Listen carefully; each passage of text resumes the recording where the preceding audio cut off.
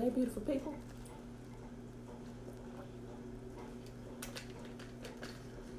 Top of the day. Today is Tuesday, December the 3rd, 2019. We are on year two. And today we are reading Genesis 25, 26, and 27. So let's get started straight away. Whew, it's cold out there. Out there playing uh, Tetris with the vehicles this morning. That's why I'm out of breath trying to hurry up and get back in here. All right. Genesis 25. Then again, Abraham took a wife, and her name was Keturah. Remember, Sarah had just passed away, right? And he just bought the plot of land to bury her. And she bare him Zimran and Jokshan and Medan and Midian and Ishbak and Shuah. And Jokshan begat Sheba and Dedan, and the sons of Dedan were Asshurim and Letushim and Leummim.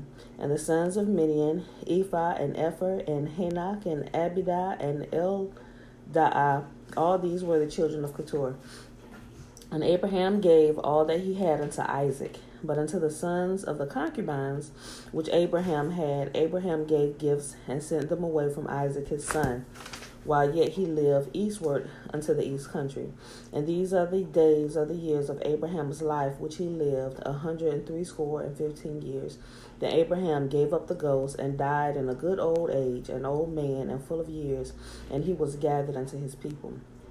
And his son his sons Isaac and Ishmael buried him in the cave in the cave of Machpelah in the field of Ephron, the son of Zorah the Hittite, which is before Mamre, the field which Abraham purchased of the sons of Heth. There was Abraham buried, and Sarah his wife. And it came to pass after the death of Abraham that Yahuwah blessed his son Isaac, and Isaac dwelt by the land Lahairoi. Now these are the generations of Ishmael, Abraham's son, whom Hagar the Egyptian Sarah's handmaid bare unto Abraham. And these are the names of the sons of Ishmael, by their names according to their generations. The firstborn of Ishmael, Nebajoth and Kedar, and Adbeel and Mibsam, and Mib, Mishma and Dumah, and Massa, Hadar, Tema, Jetur, Naphish, and Kedemah. These are the sons of Ishmael, and these are their names by their towns and by their castles, twelve princes according to their nations.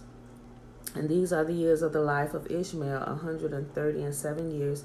And he gave up the ghost and died, and was gathered unto his people.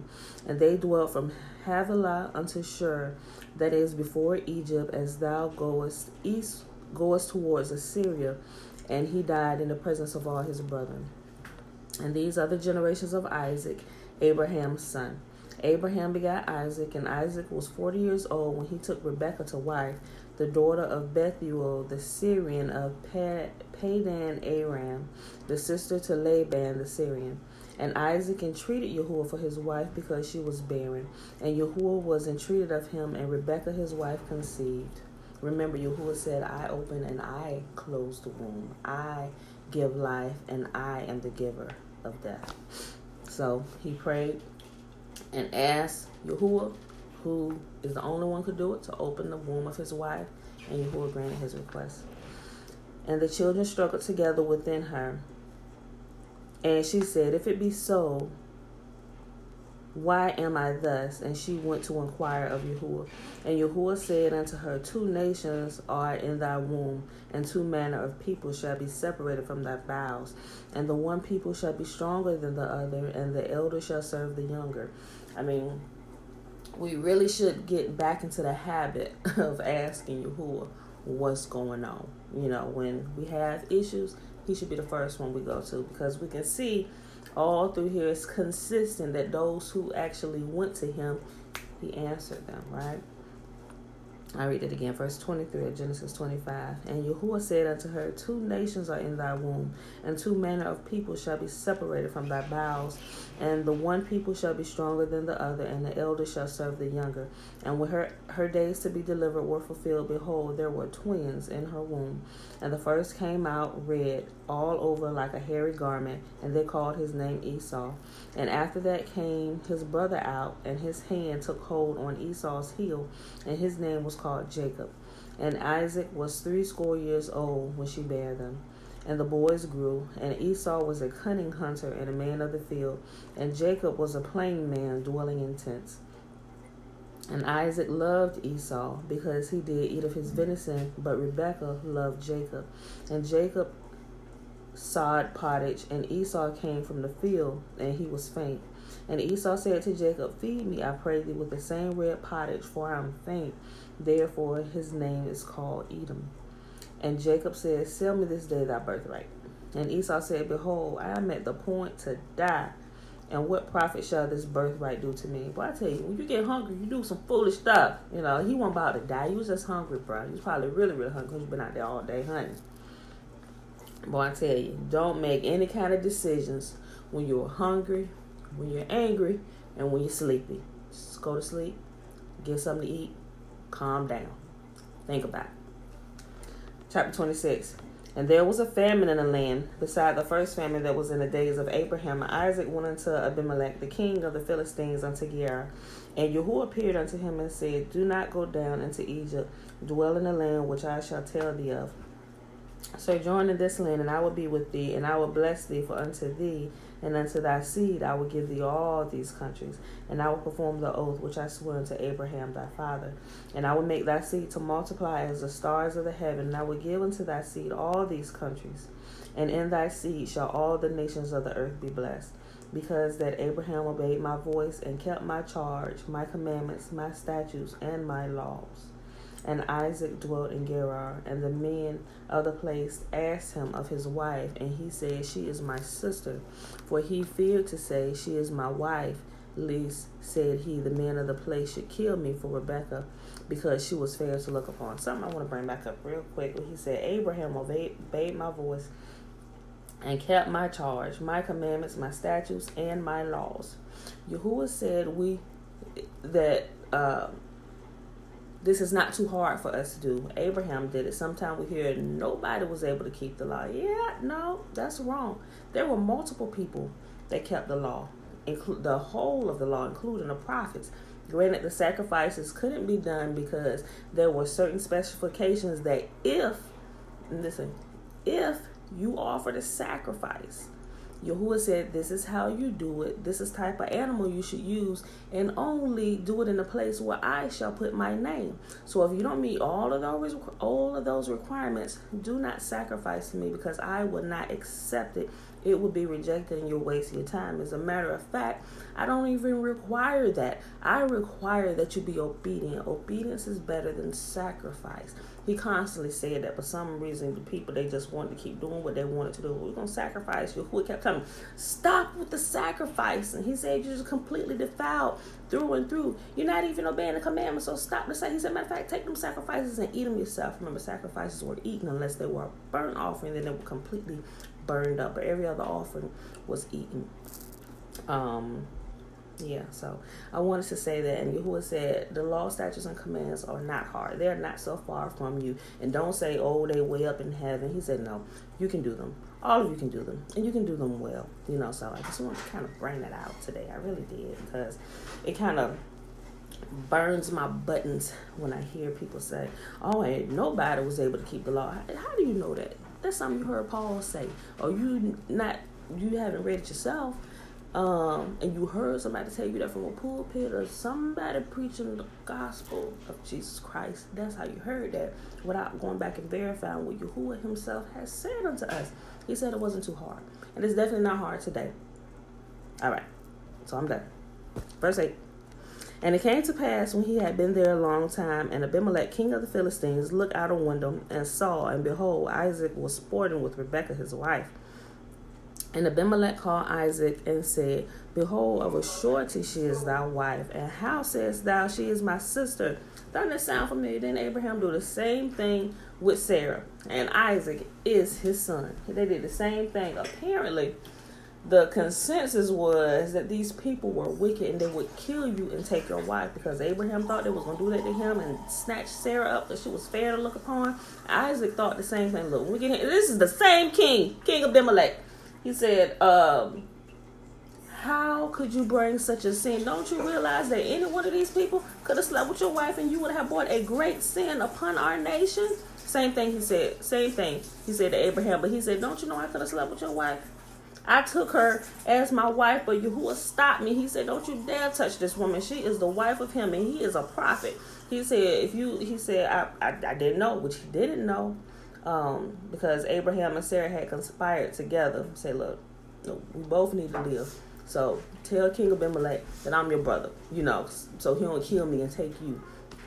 Isaac doing the same thing. So apparently they must have thought this about this nation of people, yet Yahuwah saw that they were a righteous nation. So that it, I don't know, you know, so people just get overprotective about their own at times. They look, uh, they look kind of rough and tough, and I don't know, they might, let's so just tell them I'm your brother. You know, so I mean, it had something had to be happening for the father and the son to do the same thing with the same nation of people. Yet Yahuwah called them righteous. He said, I kept you from sinning. He said, because a great sin would have come upon your nation, and I surely would have destroyed you because of him. I'm like, whoo, boy, ah, it pays to be on the right side of judgment. Okay, let me finish. I'm, I just get excited about this. I'm read again. I'm read again. Verse 8. I'm gonna read verse. I'm gonna read verse 7 again. And the men of the place asked him of his wife, and he said, She is my sister.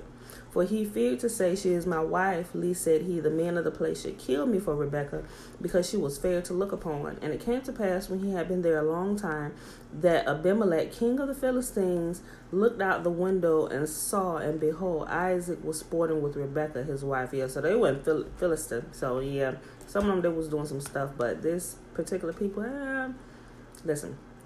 And Abimelech called Isaac and said, The king looked out and saw them down there naked in the garden. and Abimelech called Isaac and said, Behold, of a surety she is thy wife. And how sayest thou, She is my sister? And Isaac said unto him, Because I said, Least I die for her. And Abimelech said, What is this thou have done unto us? One of the people might have lightly have laid with thy wife, and thou should have brought guiltiness upon us. And Abimelech charged all his people, saying, He that touches this man or his wife shall surely be put to death. Like, you don't play with King Abimelech. He was the king of Philistines. Don't play with him. You know, but apparently he revered Yah.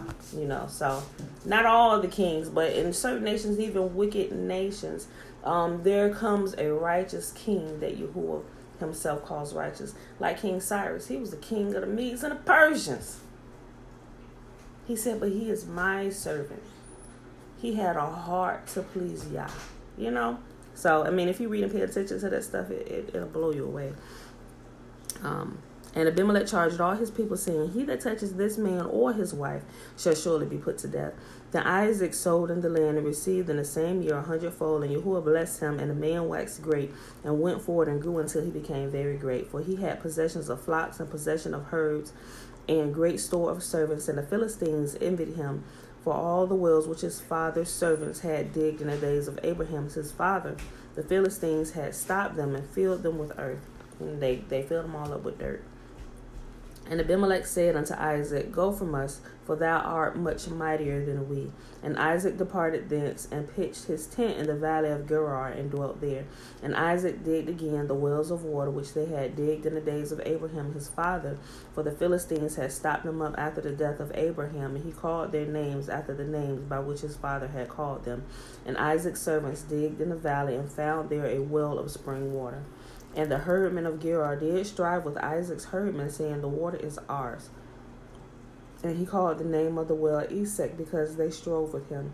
And they digged another well and strove for that also, and he called the name of it Sitnah. And he removed from thence and digged another well, and for that they strove not. And he called the name of it Rehoboth, and he said, For now Yahuwah hath made room for us, and we shall be fruitful in the land. And he went up from thence to Beersheba, and Yahuwah had appeared unto him the same night, and said, I am the God of Abraham thy father. Fear not, for I am with thee, and I will bless thee, and multiply thy seed for my servant Abraham's sake. And he built an altar there, and called upon the name of Yahuwah and pitched his tent there, and there Isaac's servants digged a well. Then Abimelech went to him from Gerar, and uh, Ahuzzath one of his friends, and Phichol, the chief captain of his army. And Isaac said unto them, Wherefore come ye to me, seeing that ye hate me, and have sent me away from you? And they said, We saw certainly that Yahuwah was with thee. And we said, Let there be now be an oath betwixt us, even betwixt us and thee, and let us make a covenant with thee, that thou wilt do us no hurt as we have not touched thee, and as we have done unto thee nothing but good, and have sent thee away in peace, thou art now blessed of Yahuwah. And he made them a feast and did eat and drink. And they rose up betimes in the morning and sware to one another. And Isaac sent them away, and they departed from him in peace. And it came to pass the same day that Isaac's servants came and told him concerning the well which they had digged, and said unto him, We have found water. And he called it Sheba. There Therefore, the name of the city is Beersheba unto this day. And Esau was 40 years old when he took to wife Judith. Love y'all. Be safe. All right, love you too. Be safe. And Esau was 40 years old when he took to wife Judith, the daughter of Beeri the Hittite, and Bashemath, the daughter of Elon the Hittite, which were a grief of mine unto Isaac and to Rebekah.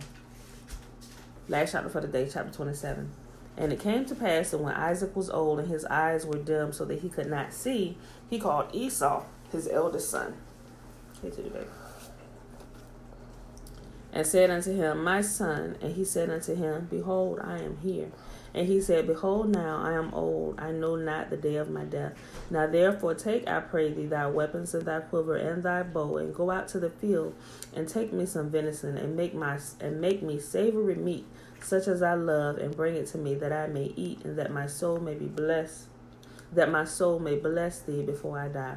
And Rebekah heard when Isaac spake unto Esau his son, and Esau went into the field to hunt for venison and to bring it. And Rebekah spake unto Jacob her son, saying, Behold, I hear thy father speak unto Esau thy brother, saying, Bring me venison and make me savory meat that I may eat and bless thee before Yahuwah before my death.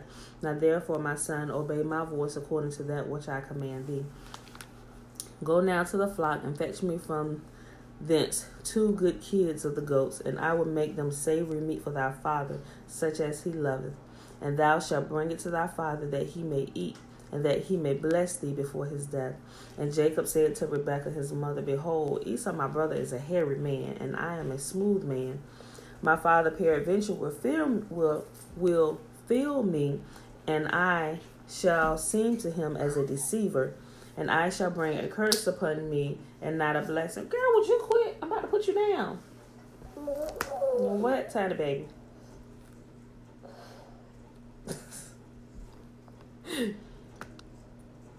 and Rebekah took goodly raiment of her eldest son Esau, which were with her in the house, and put them upon Jacob her younger son. And she put the skins of the kids of the goats upon his hands and upon the smooth of his neck. And she gave the savory meat and the bread which she had prepared in the hands of her son Jacob. And he came unto his father and said, My father. And he said, Here I am. Who art thou, my son? And Jacob said unto his father, I am Esau, thy firstborn. I have done according to thou badest me. Arise, I pray thee, sit and eat my venison, that my that thy soul may bless me. And Isaac said unto his son, How is it that thou hast found it so quickly, my son? And he said, Behold, for Yahuwah thy God hath brought it to me. And Isaac said unto Jacob, Come near, I pray thee, that I may feel thee, my son, whether thou be my be very my son Esau or not. And Jacob went near unto Isaac his father, and he felt him and said, The voice is of Jacob's voice, but the hands are the hands of Esau. And he discerned him not, because his hands were hairy, his brother as his brother's Esau hands. So he blessed him and he said, Art thou my very son Esau? And he said, I am. now, get this whole story why it's going down. Mind you, Isaac is Esau and Jacob's father, which is the promised seed of Abraham. Get how all this happened. At this time, when this blessing was about to be passed down, the very son that Yahuwah had promised unto Abraham, Isaac, was blind. And Yahuwah allowed him to be deceived by his very own sons.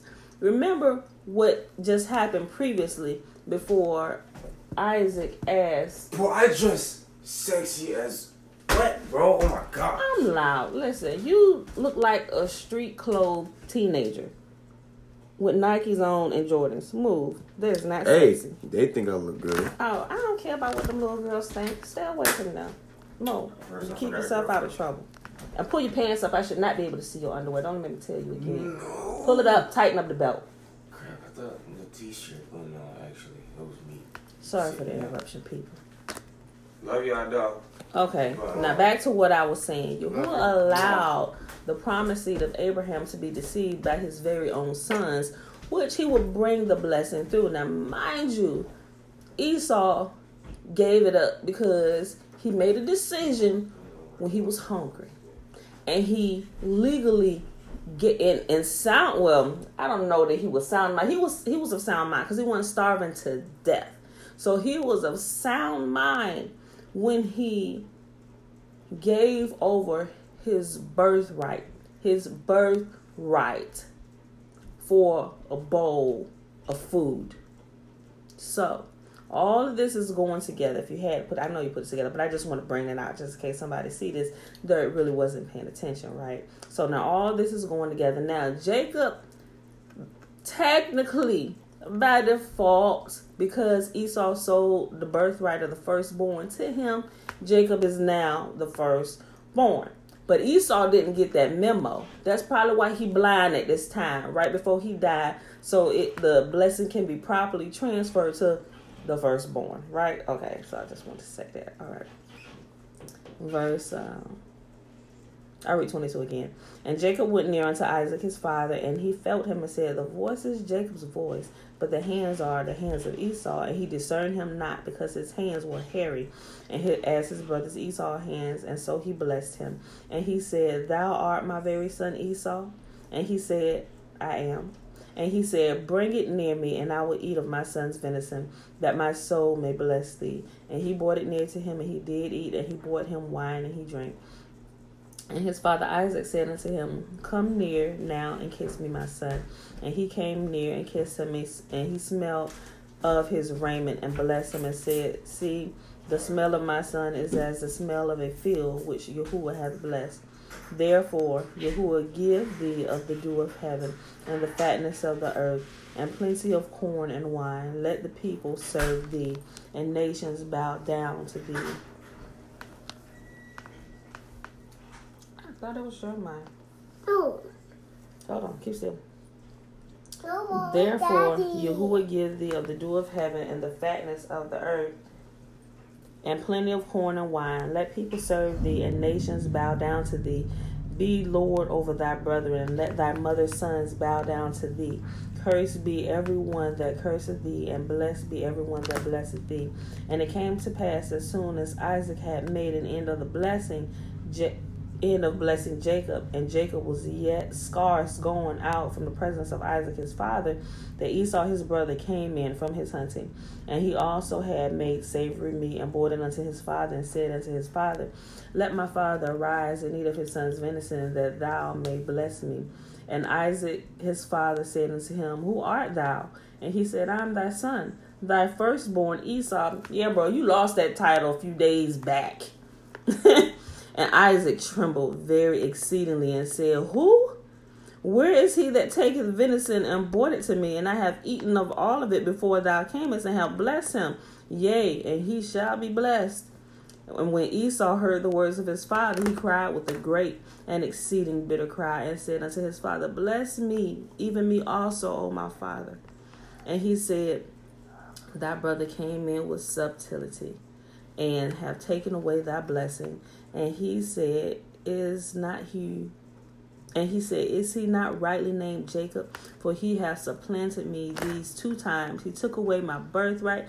No, let's get it right. You offered him your birthright. And behold, now he hath taken away my blessing. That one he did come take because he knew you. You gave over there. He said, I'm gonna need to hop on this train while it's rolling right now. So you offered the birthright, and he did. His mother, eh, he he probably would have missed it had his mother not overheard the conversation, but she had overheard the conversation because Yahuwah put her there at the right time. All things are orchestrated by him. Yahuwah rules in the kingdom of men. Let's remember that. So his mother overheard. She alerted him. It's time to put this birthright into action. Let's roll. I'm gonna cook this meat up. You take it on in there. Uh, and Jacob was like, Yeah, you know, my father's not a dumb man. I'm a smooth man. My brother Esau was a hairy man. She said, look, look, look, go get one of them goats. You know, just take this goat skin. And I'd have been like, ugh, it, I, I can imagine what Jacob looked like. Me, his father was blind. I don't know that I could have put animal skin on me to to to go along with this these shenanigans. And then again, this was a serious thing, and they knew it, so I probably would have. I mean, I probably would have showered for extra long time or bathed myself for extra long time. But um, yeah, so I, I just wanted to bring that out. He didn't. I mean, he just hopped on that train when it was rolling. But you offered it was it was it was Esau's idea in the first place. Jacob was minding his own business, and you came in and he said, "Look, what is this birthright to me? I am about to die. You making some good food?" And he said, "You sure?" He said, "What is what is a birthright? I'm about to die, huh? Take it, bro." You know, he said, "Okay." So at that point, the birthright, because he willingly gave it up, he did not. It's how do you give away an inheritance? Apparently, he wasn't thinking. And it should have been taken away because you you just freely offer up something that is literally the inheritance of your posterity forever? How do you just freely get it up for a bowl of beans? You should not have had it anyway. It rightfully went to jacob because you didn't esteem it enough to keep a hold of it. I mean we know you knew how to cook because you just went out here and you hunted and you made your daddy a, a, a, a, plate of venison. You had servants, or you did it yourself, but you had the resources to get it done and feed your own self. But since Jacob's was already done and you smelt it, you weren't thinking, like, what is this birthright to me? Give me some of that food, bruh. And he said, You sure? What is this birthright? Take it. Give me the food. He should he rightfully lost it because he did he didn't think it was important enough. You don't realize that this inheritance is for all your children and your children's children forever. He literally gave away the throne. He literally gave away the throne. And Jacob was right there to receive it. Yes. Okay. All right. And he said, Is he not rightly named Jacob? For he has supplanted me these two times, and he took away my birthright, and behold, now he hath taken away my blessing. And he said, Hast thou not reserved a blessing for me? And Isaac answered and said unto Esau, Behold, I have made him thy Lord, and all his brethren I have given to him for servants, and with corn and wine I have sustained him. And what shall I do now unto thee, my son? And Esau said unto his father, Hast thou but one blessing, my father? Bless me even me also, O my father. And Esau lifted up his voice and wept. Boy, it pays to have hindsight. Um, no, I'm sorry. It hurts when you have to live off the hindsight, but it pays to have foresight. That's what I meant to say. And Isaac his father answered him and said unto him, Behold, thy dwelling shall be the fatness of the earth and of the dew of heaven from above. And by thy sword shalt thou live, and thou shalt serve thy brother. And it shall come to pass when thou shalt have the dominion that thou shalt break his yoke from off thy neck. And Esau hated Jacob because of the blessing wherewith his father had blessed him. And Esau said in his heart, The days of mourning for my father are at hand. Then I will slay my brother Jacob. And these words of Esau her eldest son, were told to Rebekah. And she went and called Jacob her younger son, said unto him, Behold, thy brother Esau said unto him, Wait, behold, thy brother Esau, as touching thee, doth comfort himself, purposing to kill thee. Now therefore, my son, obey my voice and arise. Flee thou to Laban, my brother in Haran, and tarry with him for a few, for a few days until thy brother's fury turn away, until thy brother's anger turn away from thee, and he forget that which thou hast done to him. Then I will send and fetch thee from thence. Why should I be deprived of both of you in one day? And Rebekah said to Isaac, I am weary of my life because of the daughters of Heth. If Jacob take the wife of the daughters of Heth, such as these, which are of the daughters of the land, what good shall my life be? She said, I'm sick and tired of these women around here. Do not let my son take a wife from them. Send him so he can get a wife from somewhere else. And that today, my good people, is the reading. We'll pick up on the rest of that tomorrow. So, quick recap so I can uh, get on about my day. We read Genesis 25, 26, and 27, the stolen. That's why I put the quotation marks around stolen. It wasn't stolen. Esau would say it's stolen, but Esau freely gave it away because he was foolish. Uh, the stolen blessing. So it is day nine, year two. It is Tuesday, December the 3rd, 2019. So, that being said, beautiful people, If you missed it, go back and read it from the beginning. It's only three chapters. All right, so I'm to go ahead and bless you. May you who will bless us and keep us. May you who will make his face to shine upon us and lift his countenance upon us and be gracious unto us. And lift his countenance upon us and give us his shalom, his peace, meaning his wholeness in every area of life and in all that concerns us. All right, y'all. I love y'all, and I'll see y'all in the morning. Peace.